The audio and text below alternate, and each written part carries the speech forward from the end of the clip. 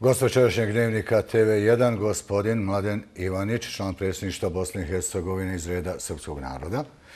Gospodine Ivaniću, želim vam dobro večer i evo odmah pitanje. Zašto smatrate da će popis stanovništva u BiH propasti? Pa evidentno je da svaki pokušaj da se dođe do kompromisa nije uspio, da jedna struktura koja misli da je pobjedila to bože donošenjem E, te metodologije preko odluke direktora agencije, nema namjeru da od bilo čega odustane, uđe u razgovore o mogućim kompromisima, što evidentno znači da mm, Republika Srpska te rezultate neće prihvatiti, oni će biti objavljeni, ali neće imati svojih praktičnih posljedica i mislim da smo ušli u jednu apsolutno nepotrebnu fazu. A, zašto? Zato što mm, je do popisa došlo nakon silnih a, i mukotrepnih pregovora, skoro desetinama, de, više od deset godina je to trajalo. Doprinos je vrlo značajan dao gospodin Dokić koji je bio u toj grupi iz moje partije.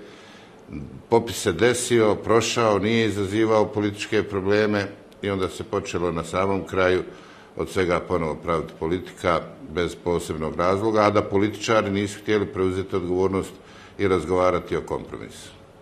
E, smatrate da su Srbi prevareni? Te također da ćete u buduće u radu predstavništva zatezati na određenim pitanjima. E, koja su to prva tri pitanja na kojima ćete zatezati? Ma pazite, prije svega treba reći da je srušen dogovor o tome da samo stvari koje, koje imamo kao konsenzus prolazi.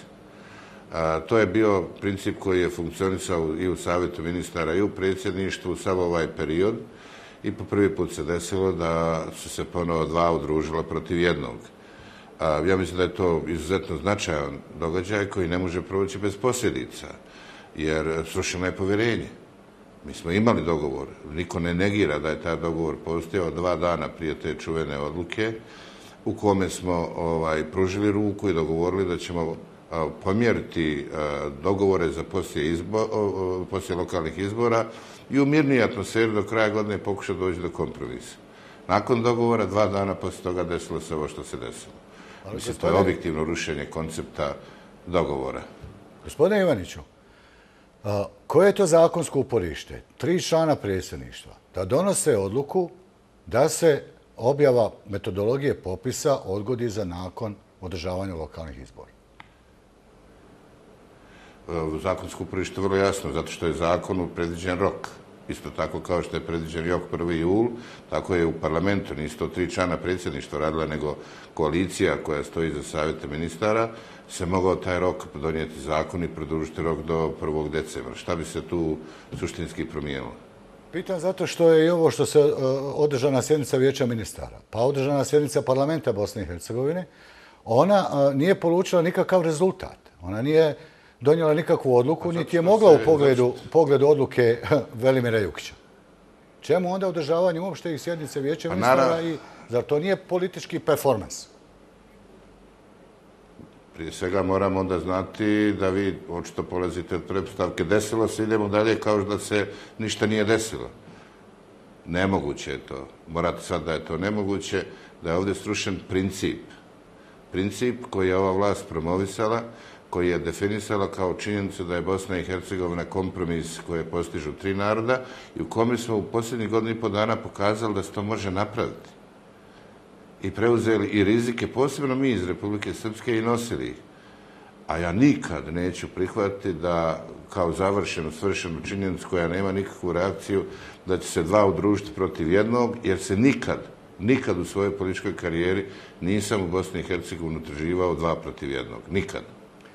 I zato je apsolutno a, ovo je vrlo ozbiljne posljedice ovog događaja. Ja ću vas podsjetiti da smo i prije rata imali sličnu stvar, da se i prije rata raspravljalo o a, popisu neposredno prije rata i da je nakon toga isto tako uslijedilo nekoliko preglasavanja. Imali smo vrlo ružne posljedice. Nemožguće je ovo tako prihvat kao da malo to ništa nije desilo. Ajmo sa osmijesima nastaviti dalje. Ja, ja kao čovjek, kao novinar, kao urednik, Ja bih zaista bio presretan da živim u državi u kojoj taj kompromis funkcioniše, postoji, da nema problema političke krize i tako dalje. Sve ovo je sada izazvalo još jednu novu reakciju bošnjačkih političara koji sada tvrde da je u pitanju želja srpskih političara da završe ono što se nije završilo u ratu, da žele da budu manjina bošnjaci u Republice Srpskoj. Ja vas molim, gospodine Ivaniću, cijeneći instituciju onaj, koju predstavljate i naravno političara koji je u politici 20 i, i duži niz godina. Molim vas, dakle, šta je problem sa tih 198.000 ljudi i je li to i zašto je problem za Republiku Srpsku? Da, da izbjegnemo sve te... Problem se ugleda u tome... Dobro. Pazite, nisam ja tražio da u ustavu entiteta uđe odredba kako će vlada Republike Srpske i federacije održavati etničku strukturu iz zadnjeg popisa. To je bio zahtjev bošnjačkih političara. U doba 2001. 2002. ja sam učestnik toga i znam. To je snažno podržavano od međunarodnih institucija. Nisam ja insistirao na tome da će struktura vojnih snaga, odnosno oružanih snaga, odgovarati etničkoj strukturi po rezultatima zadnjeg popisa. To piše u zakonu o oružanim snagama, opet na zahtjev kolega iz federacije. Još četiri takva zakona postoje gdje je najdirektnije povezana struktura zaposlenih, broj direktora agencija sa rezultatima zadnjeg popisa. Sve to rezultat zahtjeva kolega iz federacije koje su i tada tvrdile da je to jedini način da se spriječi etničko očišćenje posljedice i slične stvari. I moj prijedlog, koga sam cijelo vrijeme govorio, za koga mislim da je bio fair, a proglašen je nacionalizmom, eto i dovršavanjem etničkog čišćenja, kako vi kažete, da ti ljudi ja, ne kažem ja. u... Gospodine Ivaniću, nisam ja rekao, rekli su bošnjački da, da ti ljudi, dakle... Da ti, dakle, nisam opet, ja rekao. Da kažem, da, da, ti ljudi, da ti ljudi uđu u a, ukupan broj građana Bosne i Hercegovine, ali da ne mogu uticati na raspodijelu koja je direktno vezana sa strukturom ljudi koju imamo. Ja mislim da je to bilo i korektno i fair i sva ta izvrtanja, preokretanja, prebacivanja, apsolutno ne želim da prihvatim. Ja ne mislim da je povratak ičim vezan i, i, i prava tih ljudi da se vrate popisom. To je potpuna zloupotreba teza, potpuno okretanje i neprincipijelna, neprincipijelna priča. Kakve veze popis ima sa povratkom? Kako, jer, moguće, jer mislite da je zaista moguće ako te ljude, e, recimo, čak i ne uvedete u ukupan broj, e, da im spriječite da se vrate ako hoće? Pa naravno da je nemoguće. I da će im popis omogućiti. Pogrešna priča. Ovdje se traje jedna bitka u kome se želi, eto tako, ostaviti jedna tema, za narednih 15 godina oko koje ćemo se gložiti, koja će držati. Ja je nisam izazvao, ja jesam reagovao, reagovat ću na nju, ali zaista ne smatram da sam kako ćete, ičim kako izazvao ćete... ovu krizu koja se desila. Da. Kad ste rekli za zatezanje dalje u radu predsjedništva, kako ćete dalje reagovati? Evo, adaptacija SSP-a očekuje se da je potvrdi predsjedništvo BiH. Hoćete li je osporavati? Ne, ja nemam ništa protiv e, adaptacije SSP-a e, Koliko sam shvatio, dogovor je korektan, ali nemam namjeru da glasam bez e, saglasnosti vlade Republike Srpske. Dakle, pretpostavka da bih ja digao ruku za jeste da se izjasni vlada Republike Srpske. Ako se e, vlada izjasni negativno, ja ću biti protiv. Ako bude proglasan, tražit ću vitalni nacionalni interes. Jednostavno, logika je sljedeća. Ja sam se trudio da vodim kompromise u sav ovaj period, preuzmeo na sebe jako puno političkog rizika, borio se sa gospodinom Dodikom i uopšte mi nije problem nastaviti se boriti sa njim, ali sam podrazivao minimalnu saglasnost unutar partije, unutar partnera iz federacije. Te saglasnosti očito više nema. Oni su prekršili dogovor o kompromisu i dogovoru, preko noći prelomili odluku na jednom vrlo osjetljivom pitanju i ja više ne vidim nijedan razlog da ja nastavim da igram Don Kihotovsku ulogu nekoga ko će zarad opštih interesa preći preko toga kao da se ništa nije desilo. To je moj politički stav. Šta mislite e, sad, trenutno, danas o gospodi e, Draganu Čoviću i Bakri Zebegoviću? Ne mislim ja ništa posebno drugačije nego što sam mislio. Mi smo saradnici, mi ćemo sarađivati preostale dvije godine. Ja ću samo prilagoditi svoje, svoje lično ponašanje, spremnost na rizike koje sam imao zarad opšteg dobra, novoj činjenici da se stav koji sam imao ja i partije koje predstavljam u slučaju popisa nije uvažio. Mi imamo svoj odgovor, to je popis neće biti prihvaćen, ali će to imati posljedice na buduće odlučivanje. Biću jako oprezan. U svakom konkretnom slučaju ću biti jako oprezan. E, spomenuli ste malo prije e, gospodina Milorada Dorika. E, Mladen Bosić vam spočitava približavanje Miloradu Dodiku. Kako odgovarate gospodinu Mladenu Bosiću? Prvo ne odgovaram, nemam namjeru da odgovaram, niti komentarišem. Ja sam član predsjedništa koji je izabran neposredno, imam pravo da vodim politiku. Ja sam opozicija, gospodinu Dodiku. Ja i dalje mislim da SNSD to što radi u Republike Srpskoj je katastrofalno, da zaslužuje da bude promijenjeno, da srpski narod i građani Republike Srpske zaslužuju puno više i puno bolju vlast od ove koje imaju. Ostaću opozicija, gospodinu Dodiku, partija koju vodim, ostaće opozicija gospodinu Dodiku i vrijeme će pokazati da su to sve, ne mislim od gospodina Bosića, nego tih koji prave takav ambijent, apsolutno provincijalne analize, e, provincijalnog karaktera, ničim, ni na čemu utemeljene. Deset godina sam bio opozicija Dodiku, zašto bi sad e, bio sa njim? Ali na ključnim pitanjima od interesa za Republiku Srpsku, za koje procijenim da e, podrazumijevaju zajednički nastup, ja sam spreman i u pitanju popisa imamo isti stav. Je li političko aspirovanje i informacija da ćete se kandidirati za predsjednika Republike Srpske na općem izborima? Da o tome razmišljate? Ma to, ma to su tek ovaj, gluposti. Znate, kad neki ljudi koji su analitičari znaju od, šta ću ja uraditi više nego ja. A, apsolutno o tome nema, ali apsolutno nema nikakvog govora, niti bilo kakvih razgovora, niti ikad i bilo. Znate vi šta se, se sve u Bosni i Hercegovini desiti za dvije i pol godine? Pa ko to je, to je, to, to prosto, mislim, iznenađujuće i malo smiješno. Šta će se desiti za dvije godine? Nemojmo bježati, nemojmo, ne, nemojmo bježati. Desiti? Ovdje je u pitanju suština. Pa upravo to hoću sad da kažem. Bosna i Hercegovina imala godinu i pol dana, možda negdje usporene, ali ipak dobre, dobre saradnje. Imali smo otvaranje evropskog puta, sva trojica smo na tome jako puno radili. Imali smo aktiviranje sporazuma o stabilizaciji i pridruživanju. Dogovorio se izvoz mesa u Tursku, dogovorilo se izvoz mlijeka u Evropsku uniju. Stvorili se prepostavke za još izvoz za nekih proizvoda. Imali izuzetno dobar ambijent koji se promijenio u zadnja dva mjeseca. Ja ne znam šta se desilo, ali činjenica je da je došla žestoka retorika od religijskih lidera koji kao da su preuzeli ulogu političara pa govorili ono što političari misle. Glavnom je to dolazilo iz, od, iz, iz, evo da budem iskren, iz reda katoličke crkve i islamske vjerske zajednice. Praćeno apsolutno nepotrebnim preglasavanjem i stvaranjem jedne vrlo loše slike. Ja je zaista nisam pravio.